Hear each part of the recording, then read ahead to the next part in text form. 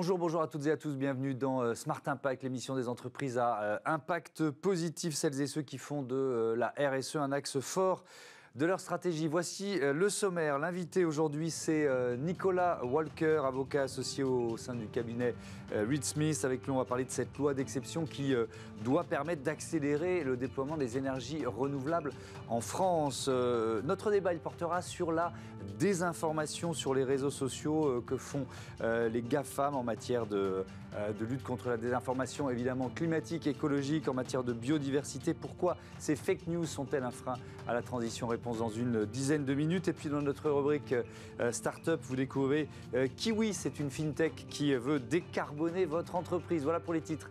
C'est Smart Impact. Tout de suite.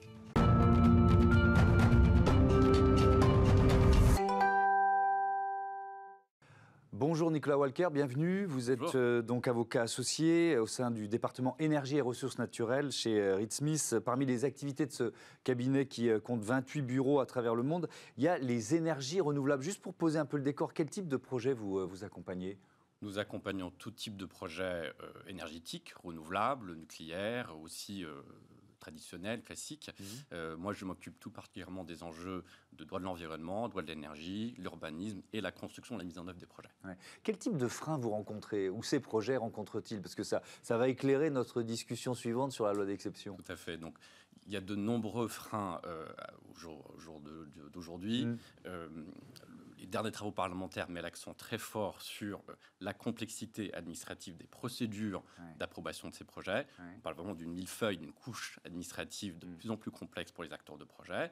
Il y a aussi un enjeu d'acceptabilité des mm. projets sur le terrain, c'est-à-dire la consultation des citoyens et la mise en œuvre, l'adhésion de nos, de nos concitoyens à ces projets de développement renouvelable. Est-ce qu'il y a une énergie renouvelable plus compliquée que les autres? Euh, Moi, je vais spontanément dire l'éolien, mais est-ce que c'est est -ce c'est une réalité de terrain ou pas? C'est vrai que l'éolien terrestre est connu pour euh, susciter de vifs débats euh, sur, sur le terrain local. Ce n'est pas forcément le plus complexe sur le plan technique, parce qu'il y a eu un enjeu de simplification majeur depuis deux mm. ans sur la filière éolienne. L'éolien en mer, par exemple, a connu de très grandes complexités depuis, depuis 10 ans. Mm. Le premier appel à projet d'éolien en mer a été lancé il y a 10 ans et on n'a pas encore eu le premier projet mis en service. Donc euh, ce, sont des, ce sont des délais extrêmement longs, des projets complexes à porter. Mm. On dit aussi que la, filière photovoltaïque est plus simple et plus facile à mettre en œuvre, mais il y a aussi de vives contestations par les agriculteurs qui voient aussi une occupation de, des terres agricoles Bien utile par des panneaux photovoltaïques. Oui, évidemment. Et, donc, on vous a invité pour parler de cette promesse d'Emmanuel Macron pendant la campagne présidentielle de faire voter une loi d'exception pour développer euh, les énergies renouvelables. Ça consiste en quoi une loi d'exception? Déjà, il faut, il faut savoir de quoi on parle. Bah, Ce n'est pas vraiment un terme euh, d'art. En fait, il n'y a pas de, loi d'exception dans la Constitution. Mmh. Le terme signifie simplement une loi prise en urgence pour répondre à une problématique données, mhm. souvent par des règles dérogatoires au droit commun, c'est-à-dire on fait des choses plus vite, un peu différemment, pour, pour une raison donnée. Donc on en a fait, par exemple, lors de la mise en place des Jeux olympiques à Paris. On a voté une loi qui facilite qui rend plus euh, opérationnel les démarches d'urbanisme pour faire émerger ces projets. Mais on a aussi connu des lois dites d'exception lors de la, la, pandémie euh, de la Covid-19. Enfin, mm. c'est simplement un terme qui dit on va faire vite et on va faire, euh, on va, on va faire de façon dérogatoire. Mm. Alors, si on rentre dans le, dans le détail, je, vais, commencer par les, les contraintes administratives, ce, millefeuille dont, mm. dont, dont, vous parlez. une loi, ça pourrait changer quoi? Donc, en réalité, le constat qui était posé par les travaux parlementaires menés par euh, Castex avant son départ mmh. était que pour, mettre en place un projet renouvelable de base, il y a euh, une multiplicité de procédures qui sont euh, très complexes à appréhender pour les porteurs de projets. Il ne faut pas moins de 30 permis différents, par exemple, pour mettre en place un projet d'éolien en mer. Euh, ce qu'on espère de cette loi, c'est donc une simplification des procédures, une réduction du nombre de procédures administratives, peut-être aussi des formes de guichets uniques, c'est-à-dire un interlocuteur dédié pour les porteurs de projets au sein de l'administration pour faire accélérer le traitement des dossiers. Quand on sait qu'en moyenne, un projet éolien terrestre prend 7 ans pour sortir de la Terre, euh, et qu'en Allemagne, on est capable de faire la même chose en la moitié du temps, et encore en Grande-Bretagne, on constate qu'il y a une sorte de lenteur des procédures en France, mmh. euh, auquel on doit forcément remédier. D'accord, donc euh, le premier levier, c'est ça, les, contraintes administratives. ensuite, sur les, riverains, est-ce que ça signifie moins de recours pour les riverains? Parce que quand on entend la d'exception, ça peut être évidemment ce qui nous vient à l'esprit. Tout à fait. Il y a aussi une tension, effectivement, entre convaincre le riverain que le projet est dans son intérêt et imposer. Donc, Macron, lors de son discours à Belfort, a beaucoup parlé de la planification stratégique, c'est-à-dire mmh. le fait d'aller consulter les riverains en amont, c'est-à-dire situer les projets dans des endroits moins sensibles, avec moins d'impact. Mais c'est vrai que sur le terrain, on constate les recours deviennent pratiquement systématiques, c'est-à-dire qu'il y, a une défaillance quelque part dans la consultation qui est menée. La raison de cela, à, mon sens, c'est qu'on consulte finalement assez tardivement. Trop tard. Dans, le projet. C'est-à-dire, on consulte le public au moment où le projet technique et scientifique est déjà figé. Et donc le public a le sentiment de ne pas vraiment réellement contribuer à quelque chose. Je comprends. Euh, où on leur dit, bon, bah, c'est un peu binaire. quoi. C'est oui ou non. Alors que si on les associe plus tôt, ils peuvent... Mais, mais même si on les associe financièrement, alors ça, c'est peut-être pas exactement votre, votre, votre parti, mais euh, pour faire accepter euh, certains projets d'éolien, on voit que c'est plus facile quand il y a une, un intéressement financier pour les riverains, on le comprend. Tout à fait. Et les, les derniers rapports parlementaires mettent vraiment l'accent sur le fait que le citoyen impactés par ces projets mm. ne se retrouvent pas dans les projets, dans les retombées économiques de ces projets. Donc il y a un enjeu peut-être de fiscalité locale, mais il y a des enjeux euh, aussi de création d'un bassin d'emploi auprès de ces, auprès de ces filières. Mm. Macron a justement parlé de son discours à Belfort, mais en toute telle cause, il faut impliquer le, citoyen au plus près du projet et en amont. Et, peut-être faire prendre conscience aux Français qu'il n'y a pas de n'y a pas de projet euh, d'énergie renouvelable sans inconvénient, quoi, quel que soit Absolument. le, quel que soit le choix. un impact. Ouais, tout, a, tout a un impact, que ce soit l'éolien, le, le, solaire ou évidemment le nucléaire. Euh, ça ne va pas être si simple de choisir ce qu'on met à côté de chez, de, chez, soi, vous voyez ce que je veux dire? Oui, oui, tout à fait.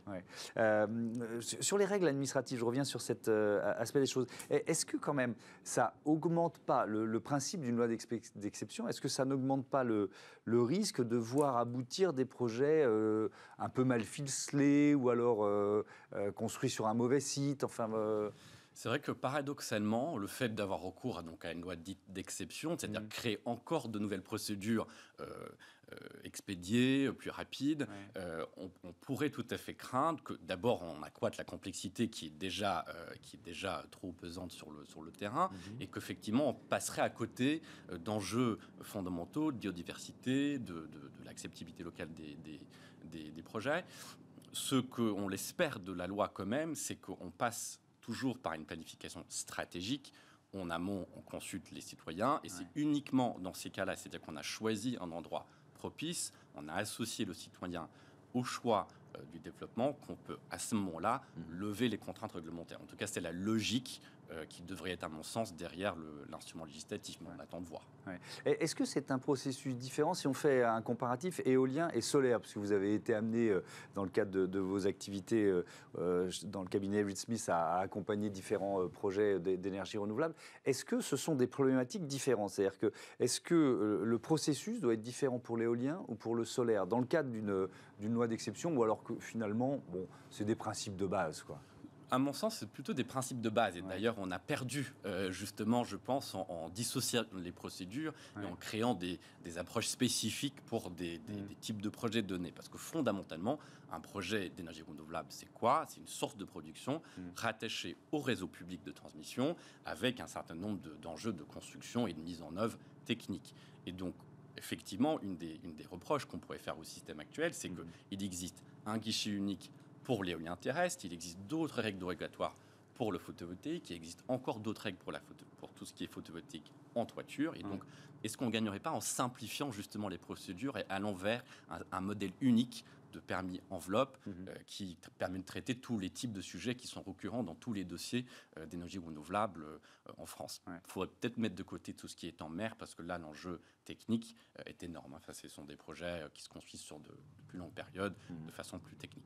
et on rappelle que sur l'éolien maritime, la France est très très en retard, hein, très très très très en retard par rapport à d'autres pays européens, les Pays-Bas ou la Grande-Bretagne, pour ne citer que les deux premiers du, du classement. Cette loi d'exception, elle est évidemment rendue euh, encore plus urgente par, par, la guerre en Ukraine, par les, sanctions sur le euh, pétrole russe qui se, euh, qui se mettent en place. vous, vous espérez que cette loi, elle puisse arriver quand? Parce qu'elle a été préparé par le gouvernement de Jean Castex. Aujourd'hui, c'est Elisabeth Borne. On attend législative. Donc, ça peut être à quel horizon? Bah, on, pense que, on, pense la présentation de la loi devrait, devrait arriver cet été.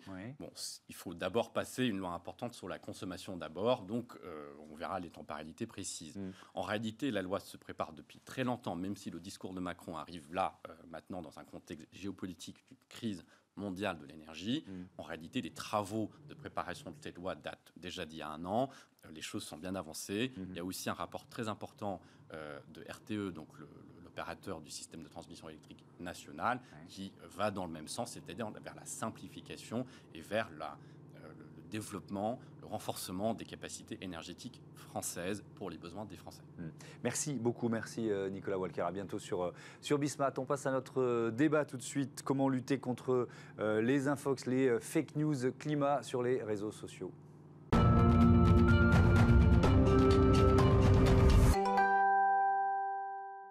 Le débat de ce Smart Impact, et je vous présente mes invités. Euh, Arnaud Ponce, bonjour, bienvenue. Vous êtes le directeur général de Digital New Deal. Euh, à vos côtés, Clément Janot, bonjour, bienvenue à vous aussi. Euh, directeur éditorial de la Climate School et auteur de la newsletter Nourriture terrestre. un peu de présentation, on pose le décor pour, pour démarrer. Digital New Deal, c'est un, cercle de réflexion, un think tank. On peut même aller jusqu'à un do tank. C'est quoi votre activité? Digital New Deal est un think et do tank mmh. qui en fait milite pour ce qu'on appelle un Internet des Lumières européen humaniste, c'est-à-dire en creux euh, alternatif au modèle américain et chinois. Euh, donc on, publie et, on, participe au débat sur les enjeux de souveraineté numérique. Et vous accompagnez des entreprises quand on dit do tank, ça veut dire on propose des solutions, c'est ça? Alors l'activité de think tank accompagne plutôt euh, le secteur public, politique, sur la publication de lois et la réflexion sur ces enjeux de régulation.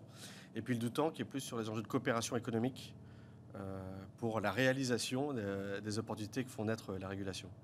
Euh, Climate School, c'est quoi? Clément Janot, expliquez-moi. Alors c'est une formation qu'on essaye d'être de référence sur les enjeux environnementaux mhm. et sur la transition durable des entreprises. Donc c'est une formation qui est en ligne, qui est accessible dans une dizaine de langues. Mhm. Euh, l'ambition, c'est de pouvoir aider les entreprises à former et engager leurs salariés dans la transition de leur entreprise, donc mhm. tous les métiers. on fait des cours sur l'IT, la RH, les achats, etc donc voilà, on a cette, euh, cette ambition de pouvoir former massivement avec un outil euh, qui, est en ligne, digital.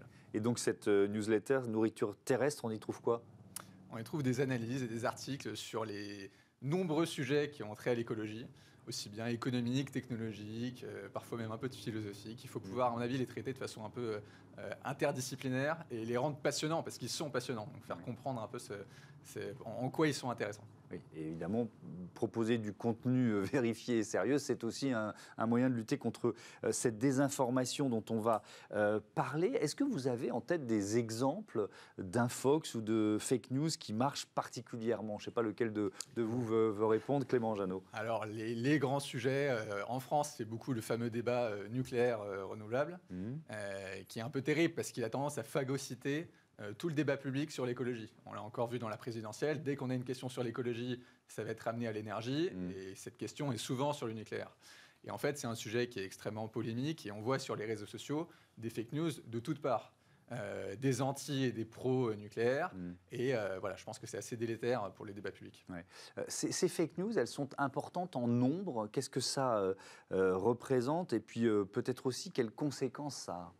En fait, les spécialistes ils distinguent euh, deux choses. Ce qu'on appelle la désinformation et la mésinformation, qui, c'est-à-dire la différence, c'est que ce n'est pas intentionnel. Hmm. Et moi, ce que je constate euh, sur les réseaux sociaux, c'est qu'il y a beaucoup euh, d'informations qui sont fausses, mais de façon non intentionnelle. Hmm. Et là, oui, il y en a beaucoup. et aussi, alors il y a différentes raisons, mais notamment parce que dans certains cas, la ligne n'est pas très claire entre la vérité et puis ce qui peut relever d'opinion ou ce qui peut relever de choses euh, qui sont encore floues. Hmm. Euh, un très bon exemple, c'est l'impact euh, du digital, l'impact environnemental du digital. Là-dessus, on a entendu beaucoup de choses sur l'impact de l'email, notamment. Hmm. Est-ce qu'on peut dire que c'est une fake news ou pas? Pas vraiment. Et en même temps, à force d'en parler, à force d'en faire un sujet prioritaire, on n'est pas loin d'une fake news parce qu'en réalité, il y a un chercheur qui a montré, du CNRS, qui a montré que si on passe du temps à supprimer des emails de sa boîte mail, ça peut consommer autant, voire plus de CO2 que le fait de les avoir supprimés. Bon.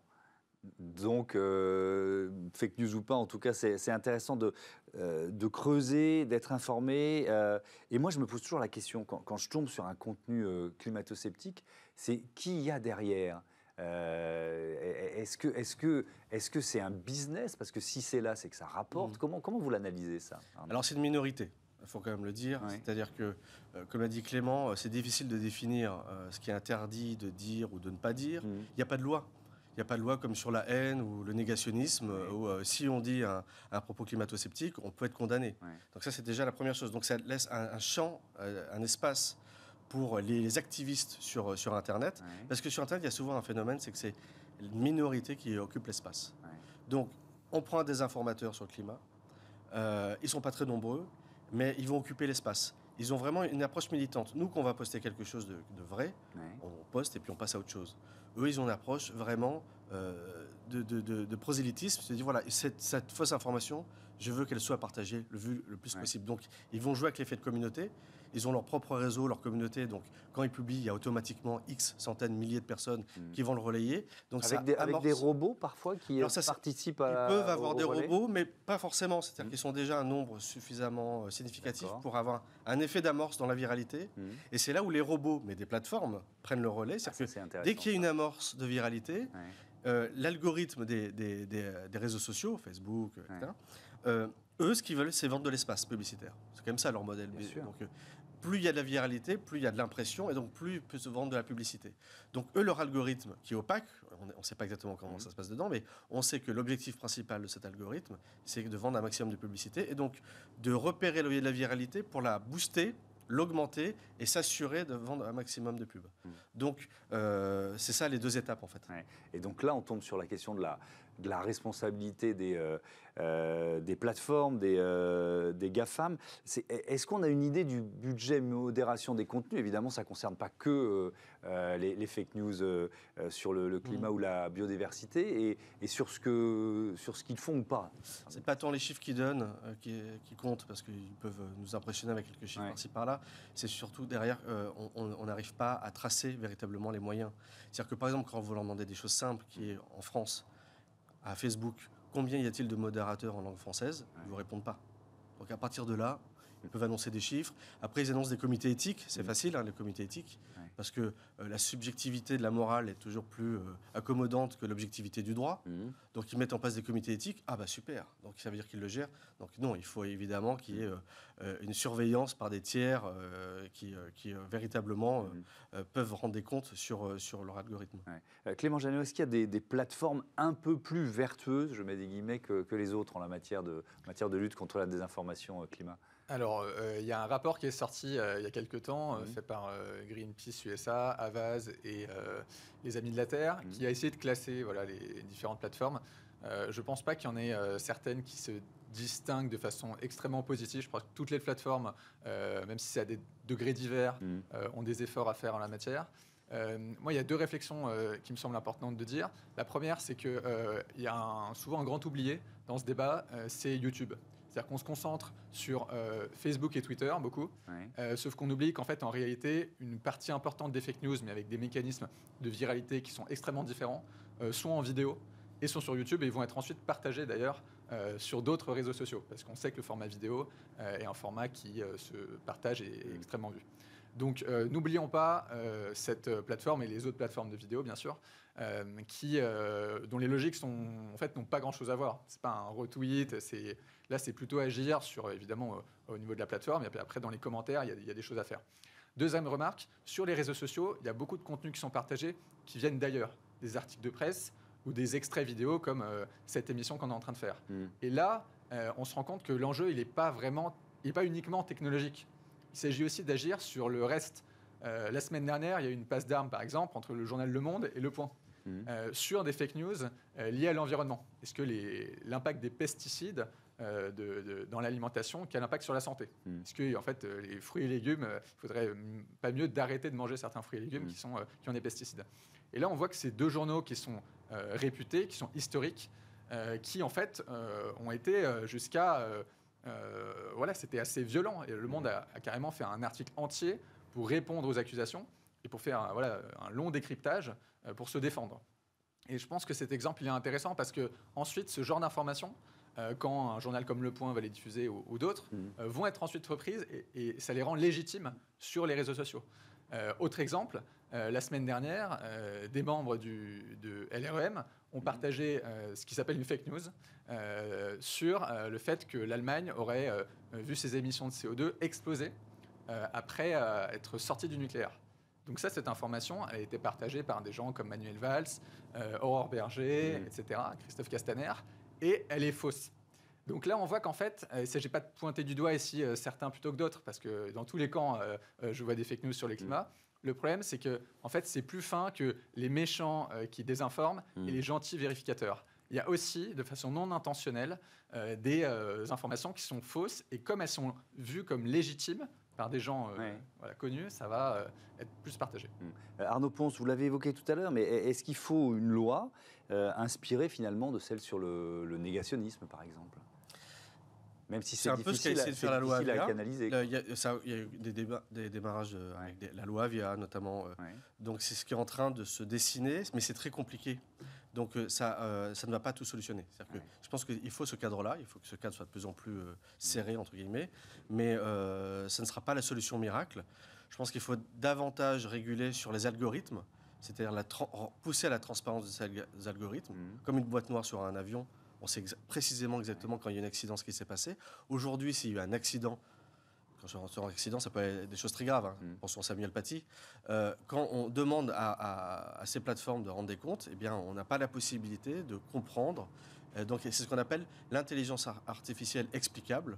C'est euh, un modèle qui est très européen et évidemment mm. moins américain parce qu'ils n'aiment pas trop quand, on regarde en détail ce qui se passe dans leur algorithme. Mm. Et puis aller jusqu'à imaginez, vous connaissez la loi Sapin dans la publicité.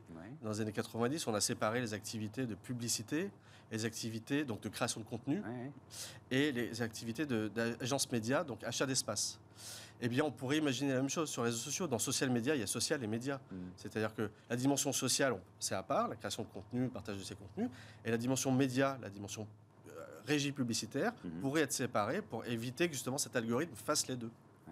Euh, est-ce que c'est forcément une euh, une solution euh, internationale. C'est-à-dire qu'aujourd'hui, il y a, on, le sait, une loi européenne qui est plutôt plus protectrice. Est-ce mm. que, est-ce que euh, on peut imaginer une solution internationale ou est-ce que c'est totalement utopique d'imaginer Non, c'est pas utopique. RGPD a commencé. C'est-à-dire que c'est un règlement européen. Mm qui deviennent valeur étalon mondiale, parce qu'à partir du moment où, pour pénétrer le marché européen, il faut euh, euh, correspondre à, la réglementation, mmh. ben, ça veut dire que les autres marchés sont obligés de, s'adapter, et donc, bah, de facto, ça, ça, devient une norme mondiale. Donc, prolonger la logique du RGPD, c'est ce qui est en cours hein, avec des règlements aujourd'hui au niveau européen, DSA, DMA, mmh. et donc, par exemple, sur l'IA Act, le prochain règlement sur l'intelligence artificielle, si on pousse le fait qu'il y ait la transparence et l'explicabilité dans l'intelligence artificielle, eh bien, c'est une norme qui pourra devenir mondiale. Mm. Merci beaucoup, merci à tous les deux. On passe tout de suite à Smart Ideas, une start-up à l'honneur, comme tous les jours.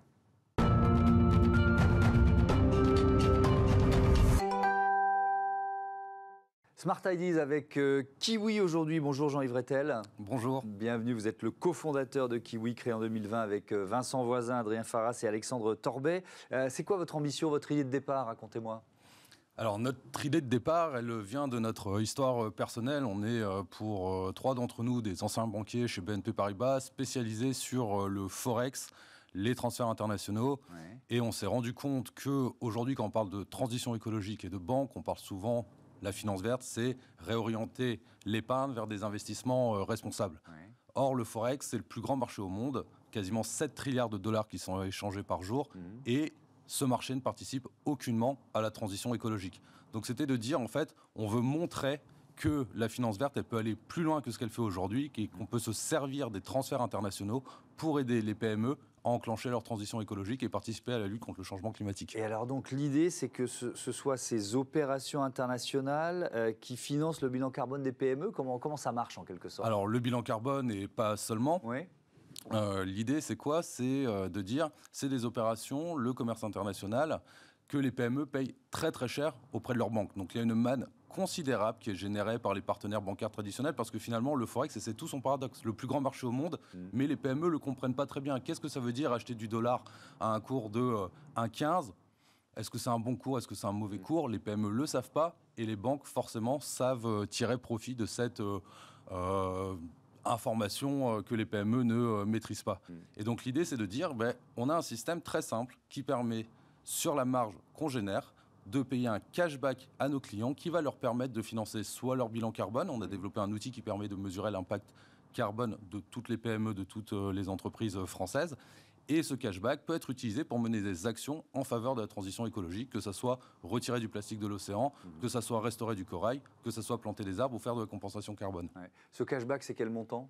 Ce cashback, euh, il est euh, indexé directement sur notre marge. C'est 15 à 25% de notre marge qui est rendu aux clients sous forme d'impact. Hmm.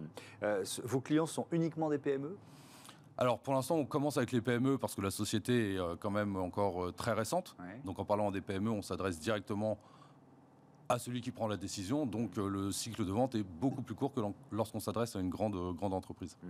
Parce que la, loi, euh, je reviens au bilan carbone, la loi n'oblige pas une entreprise de moins de 500 salariés à faire son, son bilan carbone. Donc là, c'est un peu votre, votre premier, première cible en quelque sorte. Alors sa première cible, effectivement, vous avez tout à fait raison. Il n'y a pas d'obligation et c'est un des problèmes actuels. Et d'ailleurs, je rappelle que la Convention citoyenne pour le climat avait euh, demandé à rendre obligatoire le bilan carbone pour toutes les entreprises, mmh. y compris les PME, sur un scope forcément plus réduit qu'une grande entreprise. Le Conseil économique, social et environnemental euh, insiste aussi sur cette nécessité parce que si vous voulez s'inscrire dans une stratégie bas carbone, c'est-à-dire réduire ses émissions de gaz à effet de serre, mmh. lorsqu'on ne les a pas mesurées, c'est extrêmement compliqué. Évidemment, c'est compliqué. Ça coûte cher un bilan carbone alors ça va euh, dépendre de la taille de l'entreprise. Si vous êtes euh, une entreprise avec euh, une seule personne, un bureau, un ordinateur, ce hmm. c'est pas très compliqué. Lorsque vous êtes une PME industrielle avec différents sites, avec des fournisseurs partout dans le monde, bien entendu, c'est beaucoup plus complexe et donc c'est beaucoup plus cher. Et, je vous pose cette question parce que c'est peut-être le premier frein à une, à une action de transition écologique pour une entreprise.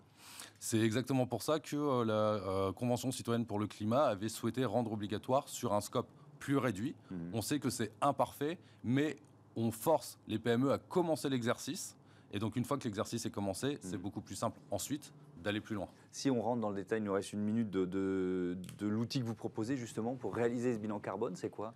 Alors, euh, c'est un outil qu'on a développé en interne, qui a été labellisé par euh, l'ABC, l'association euh, Bilan Carbone. Mhm. On a suivi scrupuleusement les recommandations de l'ADEME et de l'ABC.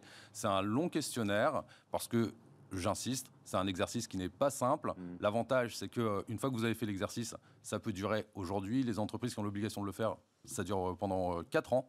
Donc une fois que vous avez fait l'exercice, vous avez 4 ans pour mettre en place des mesures. Et dans 4 ans, on se donne rendez-vous pour voir ce que vous avez fait et avancer vers d'autres pistes. Évidemment, c'est un outil de progression, on l'a bien compris. Merci beaucoup, euh, euh, Jean-Yves Rettel, d'être venu nous euh, présenter.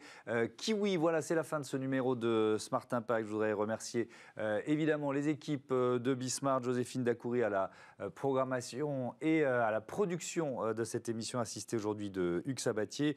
la réalisation était assurée par Manu Pézèche et le son par Mathieu Sullivan. Salut à toutes et à tous, à très vite.